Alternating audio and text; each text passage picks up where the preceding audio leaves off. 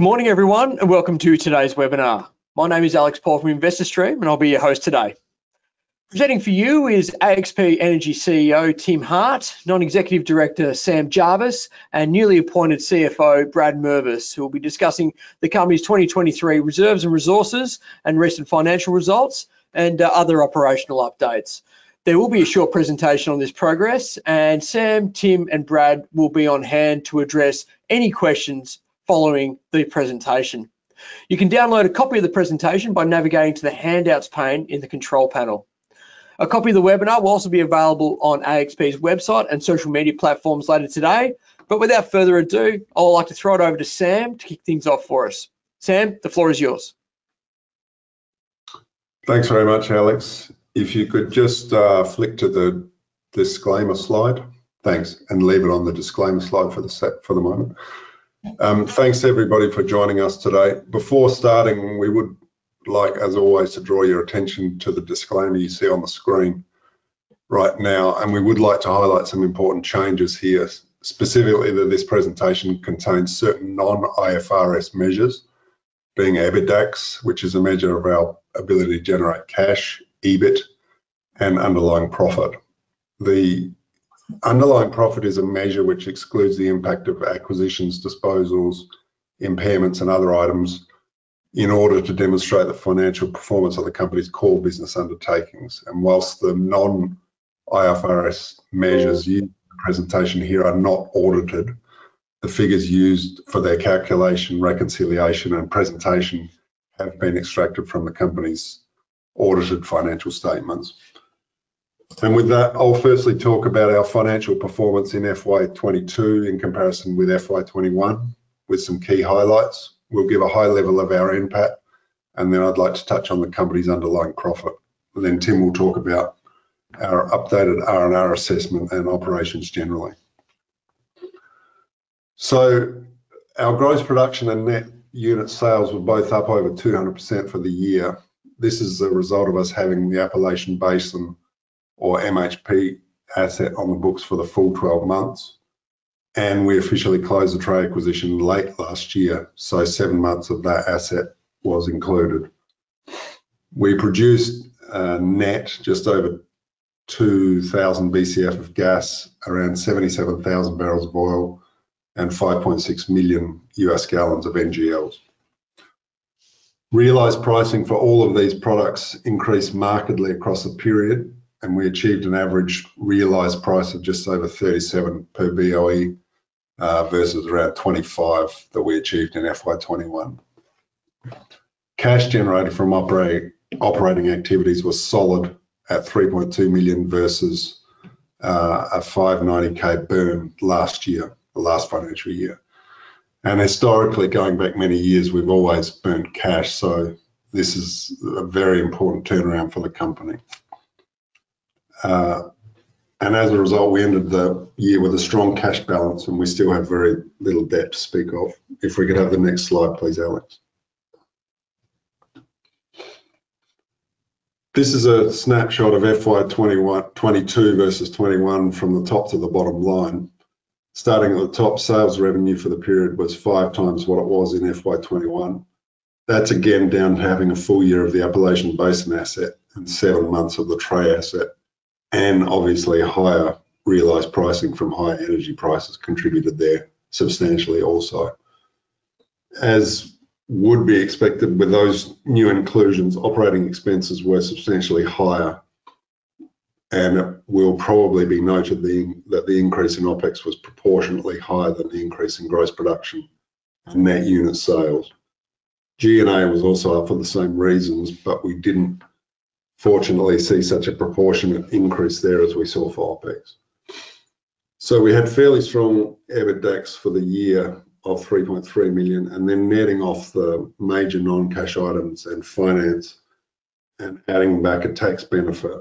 And despite the significant cost increases, we still managed to end the year with 607,000 in NPAT. This does not compare favourably with FY21 on paper, but I'll talk about that a bit more in the next slide, which I, if I could have that, Alex, please. So in FY21, you'll recall that we booked a $6.2 million discount on acquisition, which reflects the difference between the fair value of the MHP asset that we acquired versus what we actually paid for it. This then contributed substantially to our accounting profit for that year of just over 4 million. But we obviously wouldn't claim, and in fact, in our FY21 financial statements, we specifically noted the fact that this 6.2 million non-cash item was a key contributor to the group's profit. So we wouldn't claim that the 4.4 million profit was a correct reflection of the company's underlying performance for the year obviously because that 6.2 million skewed the result up. So if we then remove that amount from FY21 and remove some other non-cash items related, which are not related to our operational performance, and we perform the same exercise for FY22, you can see from the table on the left that we have a reconciliation of NPAT to underlying NPAT. And from that, you can see that our underlying NPAT for FY21 was really a 2.1 million loss versus a 599, 589K operate underlying profit for FY21. So in effect, what we can say is that across the periods, we've actually had a 2.1, positive 2.7 million swing from an underlying loss to an underlying profit. And that, we believe, is a more accurate demonstration of the company's underlying business performance. And that's the financial summary for today, and I'll now hand over to Tim. Thank you, Sam. Um, so our 2022 reserves have increased. Um, that can be seen from the slide that you have in front of you now, and I did expect this. Uh, and I also expect more good news in the future as we further understand the assets uh, and continue to uh, work and mature our field development plan. Um, the last reserves report was completed back in October, so we're only looking at nine months worth of effort. Um, And the highlights really are here uh, in this particular slide. The uh, The majority of AXP's proved reserves are in the producing and developed category, so we're monetizing them today, um, which is good. There was a 14% increase in 2P as a result of work that we've done or that we've been doing on our field development plan. and uh, and and And quite frankly, work on that field development plan continues, Uh, and we have a tremendous amount of runway here to further develop those uh, those reserves as as that field development plan continues to uh, uh, continues to mature. Slide seven, please, Alex. So this slide speaks to our contingent resources. And as you can see, it's nearly 212 million barrels of oil equivalent in the 2C category Uh, that are currently defined. And so that's a pretty sizable number. Uh, to be clear, contingent resources haven't really been a focus since the last reserves report. Our focus has primarily been on our reserves, developing our our project queue, and also developing solutions to some pretty complex issues to improve our margins. And one of the things that I do want to point out here is that we have a dominant position in the Appalachian Basin. And and this basin is one of the largest onshore U.S. gas basins. So you know, if you look at the asset we have, it's a very solid producer with lots of potential for development. Uh, it's a very friendly oil and gas environment. It's got stable long-term sales channels. And and really, in oil and gas, this is uh, this is about as blue chip as it gets. So um, uh, I'm expecting uh, good things to to continue to materialize as we Uh, get more into this asset. Slide eight, please. So I mentioned in the last slide that we've been focused on some complex issues, and I'll provide some color on that here. Um, as you're aware, uh, we've been consolidating our assets together into one company, AXP Energy. And so a primary focus of this consolidation was to bring together the financial functions underneath of one roof. And in the process of doing this, uh, we've sourced and hired a number of very competent finance professionals to build out our finance team. Um, uh, Brad Mervis, uh, Brad's got 25 years in various senior leadership roles in corporate finance, with most of that experience in energy companies. And you may have seen recently that Brad was promoted to our CFO. And I'd like to congratulate Brad on a well deserved promotion. He's been extremely instrumental in bringing uh, a maturity to our finance team. Stephen Lantner's another person on our finance team. He's the VP of Finance. Uh, he's got over 20 years of experience in leadership roles in various oil and gas companies. And Stephen participated in the growth of diversified energy uh, as he worked to build Alliance Petroleum Corporation from a small operator in a 100 to a, into a 100 million dollar company that was later acquired by DGO. And so he's already been through exactly what we're doing uh, here with AXP. And he's also led the effort to select and implement our new financial system, which went live just a few months back. Recently hired a, a gentleman named Scott McConnell. Scott is our controller. And he, he's, as I said, he's our most recent hire with over 25 years of experience in corporate finance and auditing. Uh, Scott served in various leadership roles, including five years as CFO in two different leading healthcare companies in the state of Kentucky in the US. And so we feel very fortunate to have Scott on the team as well. And, and my point uh, in this is, is to let everybody know that we have some real depth on our finance team. And, and this was a critical component to moving our company forward. From an operations standpoint, uh, we already have a tremendous amount of expertise within the organization led by Artie Hamilton, our vice president and general manager that heads up the AXP operations team.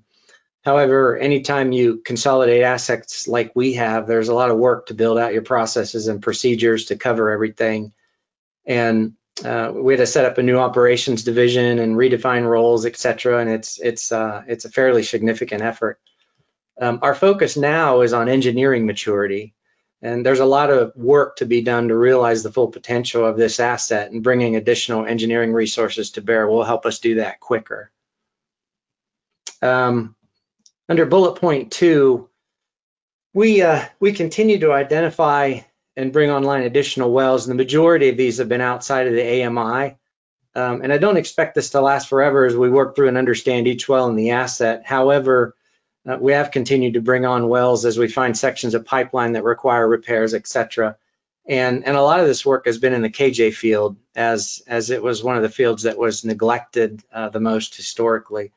Um, we're still working on the best solution for gas in the Illinois Basin. And this would include the DPI 2604 and 2605 wells, which you've heard us talk a little bit about. And uh, the uh, existing sales channel there is currently only at an 8% sales margin uh, which is not all that attractive. And so we've identified a few solutions that are more suitable for that, uh, and and we're working on progressing those uh, those solutions. The the next two bullet points, uh, three and four, uh, are in my estimation the most critical elements of of what we've been working on since the beginning of the year. And and these two bullet points speak to our margins and profitability. And if there's one thing that we can do to dramatically improve our situation. It's to solve a few very complex issues that are preventing us from realizing these improved margins.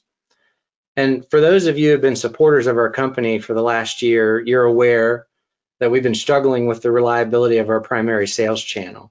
And Alex, may I ask you to revert back to slide seven so we can have a quick look at that map? Thank you.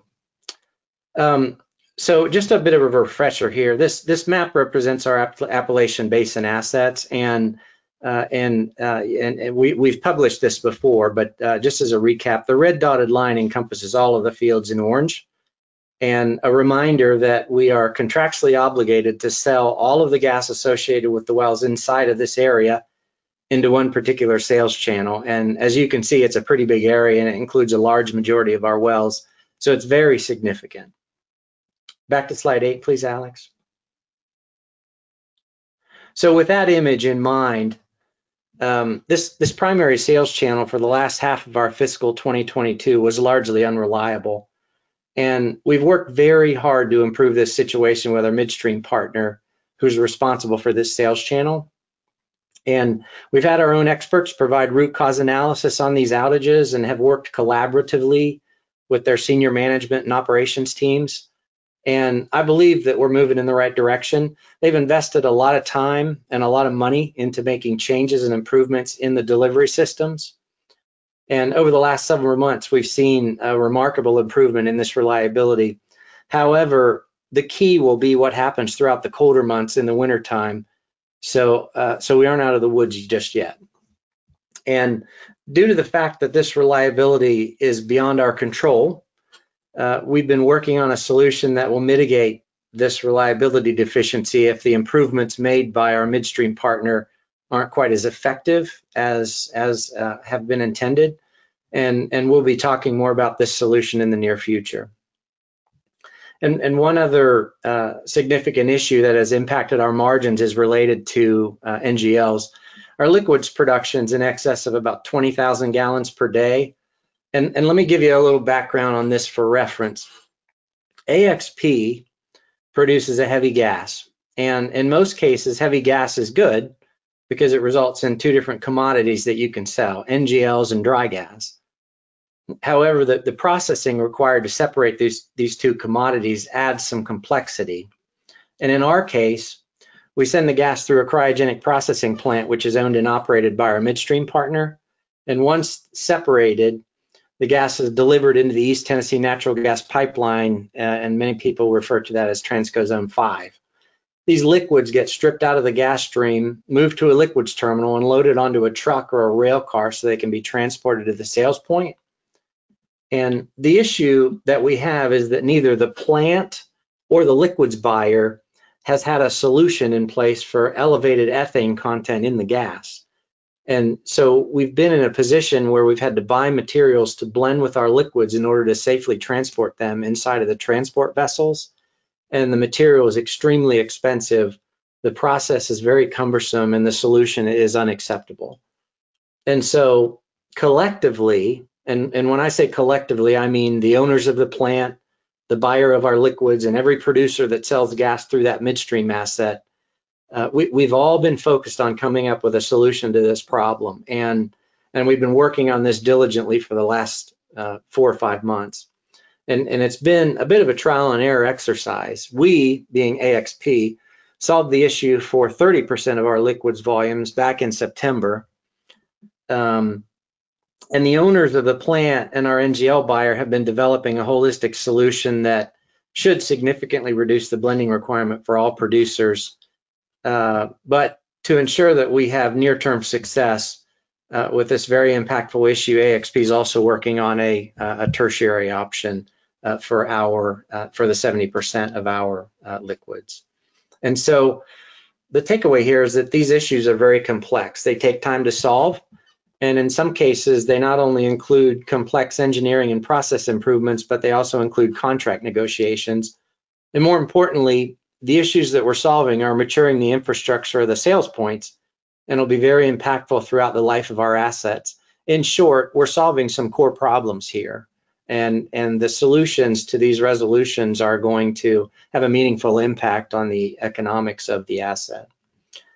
And if you consider the assets that AXP has assembled, the production is there. Uh, production is typically the most difficult thing to get.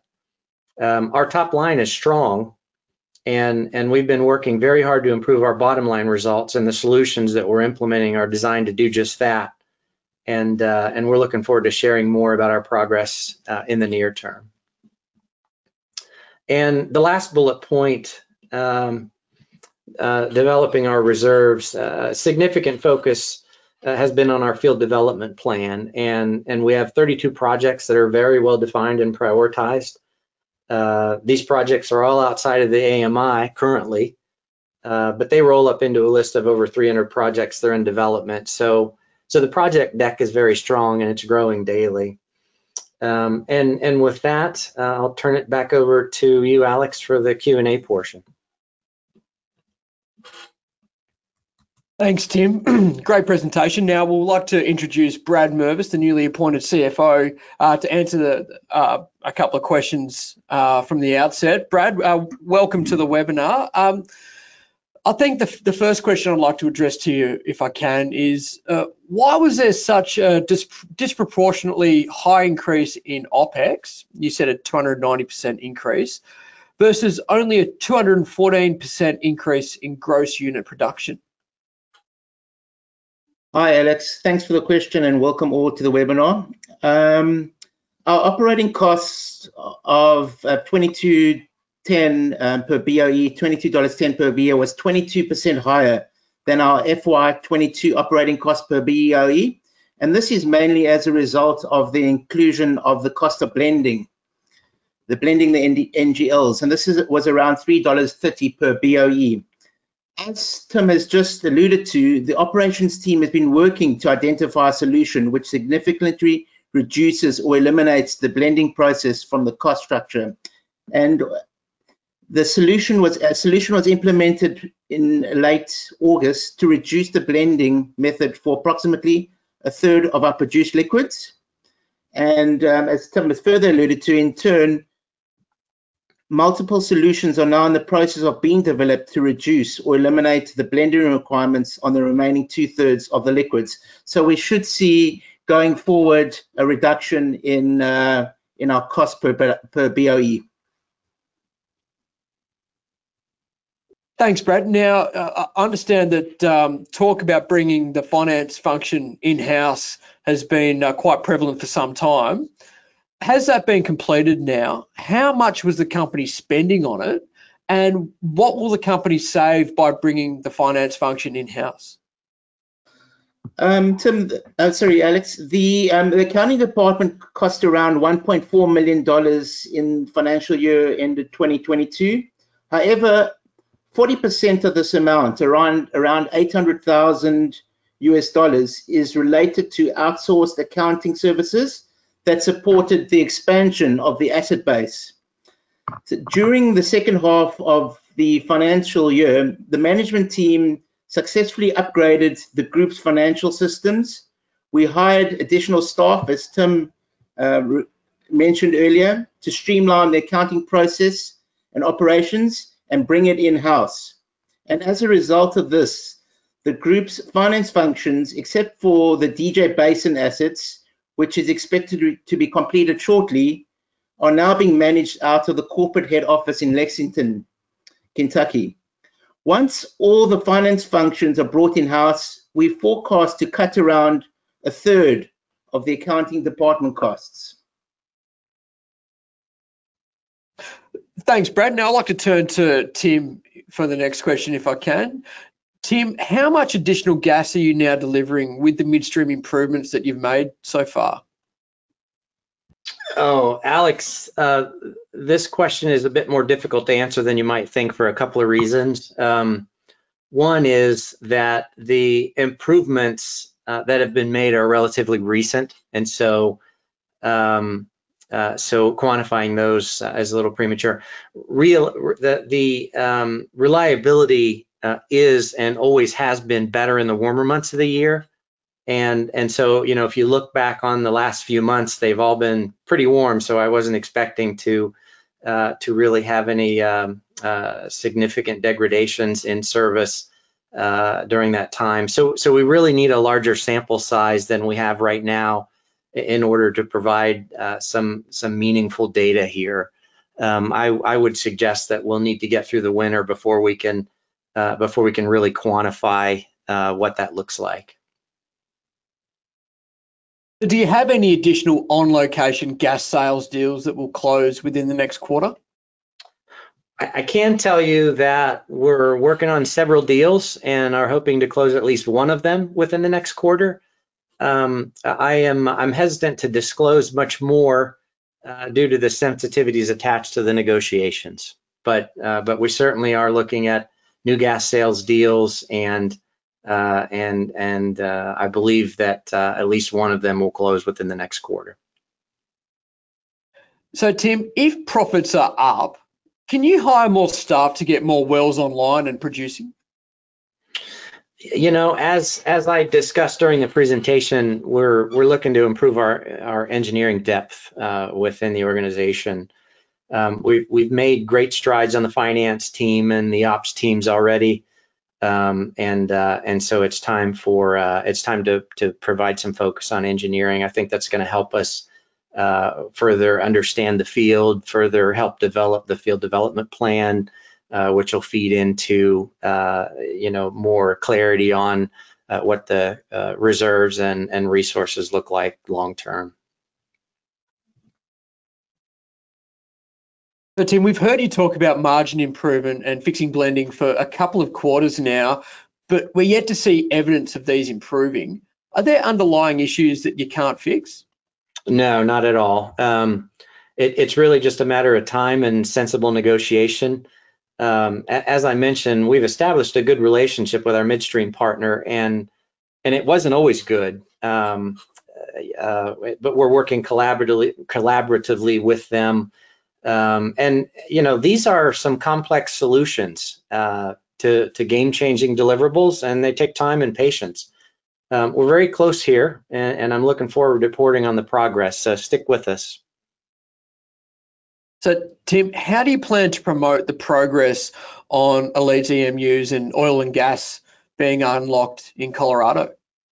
Well, um, we're very pleased with the progress Elite has made, and and I anticipated us providing a fuller update on this uh, in the next week or two. Um, Elite have bigger plans for Colorado, and and now that we've done all the hard work with respect to permitting and complying with other regulatory requirements, uh, expansion becomes a lot easier. And and just to be clear, uh, for AXP, our role is limited to providing the gas, uh, which is our core business um, we have uh, developed a very good relationship um, with Elite, and and for those who follow the crypto mining space, uh, you'll you'll know that uh, uh you know the the uh, the market has been uh, not so kind to crypto as of late, and um, Elite is still providing their services. They're still expanding um, and their uh, philosophy is that this is when you grow. Uh, and and so um, the progress that we've made in Colorado, all, although it's it's not been on the timetables that we've hoped, uh, there's been a lot of groundwork that we've laid, and and we're going to leverage that uh, to the fullest potential uh, as we move forward. Now that one of EMI's portable units are up and running, is there oil actually flowing in Colorado, or do you need at least two units up and running for the oil to flow? Well, we've always produced oil in Colorado, um, but you are correct. This will help us produce more. The EMUs are being powered by our biggest wells in the field, Pathfinder 2 and Amerigo Vespucci. And, and as we bring up gas supply, the rate of oil production uh, will increase too. But we'll update more on this in the next few weeks. That based on the information on the Colorado Oil and Gas Commission website, it looks like Pathfinder 2 only produced sporadically in the winter months of 2018 and 2019. Tim, can you talk about why Pathfinder 2 was cho chosen as the primary supply for EMI when AV seems like the, the far superior well? And, uh, and can we expect it to run without issue for the most part? Well, to be clear, um, uh, we are intending to power uh, or to supply gas from uh, from Pathfinder, Amerigo Vespucci, and JW Powell. Um, the uh, the Pathfinder site was um, uh, was more suitable uh, was a more suitable location due to its proximity, uh, due to the site layout, and and so you know we put the mining operation on the Pathfinder site, but we have plumbed in the Amerigo Vespucci well uh, the the um, uh, the gathering line has been ran. It's not uh, connected up yet, uh, but in time we'll also be bringing JW Powell over as well. So um, so uh, you know as we continue to supply gas to that site, I anticipate that all three of those wells will be coming online. Pathfinder first, and then Amerigo Vespucci and JW Powell at some point in the future. So, Tim, the original heads of agreement with EMI was for three years running through to August 2024. Will that be amended to 2025 due to the delays? Um, so the HOA is is an overriding agreement, and each individual site has its own uh, gas purchase agreement. And so, um, uh, you know, the um, uh, the uh, the HOA will continue to govern those sites, um, but uh, but they're more well defined in that gas, gas purchase agreement. So the May 13th press release indicated the major customers' contracted gas take will drop from 500 decatherms uh, per day to 3,000 from November through to March. Will the 2,000 uh, decatherms be sold on the open market closer to the spot price? Yeah, and and let me provide some uh, some insight into our philosophy on this. Um, selling into the Transco Zone 5 market uh, is always more attractive in the winter. Um, and, and so my philosophy in locking in gas prices is to lock in a certain amount so that we can insure ourselves uh, against uh, the downside um, and make sure that, uh, that we're healthy uh, with just our minimum volumes locked in. Um, and, uh, and, and in the winter, uh, we reduce that more because we know we're going to be getting better pricing. And, and you'll see that trend continue um, throughout uh, throughout our history with uh, with the asset. So uh, we you know we we locked in 5,000 um, to uh, to leverage uh, what I thought was uh, was pretty attractive pricing for that time frame, um, and we dropped it to 3,000 during the cold months so that we can sell the other 2,000 on spot at a higher price.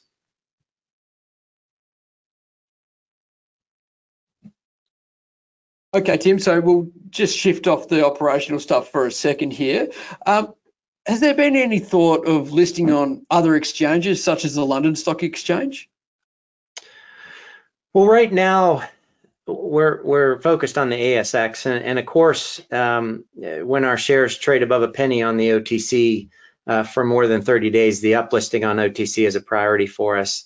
Uh, we like this market very much. Um, uh, currently, you know, that's where our focus is, and and uh, uh, and, and, the OTC will be the next uh, the next focus for us.